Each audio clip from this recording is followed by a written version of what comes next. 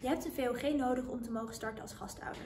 Het gastouderbureau vraagt deze voor je aan en de kosten hiervoor zijn 33 euro.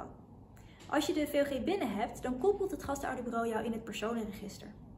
En dan is het goed. Je hoeft daarna niet nogmaals een VOG aan te vragen als je bij een nieuw gezin eh, begint, omdat je nu al gekoppeld staat in het personenregister.